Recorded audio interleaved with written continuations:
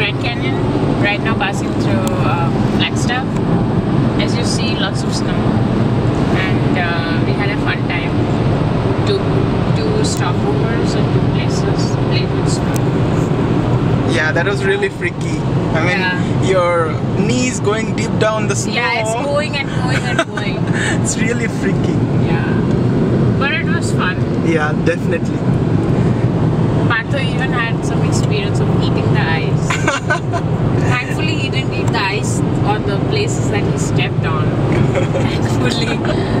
And uh, that's about it. So let's see how Grand Canyon goes. Yeah, and I just realized my dream of seeing snow for the first time.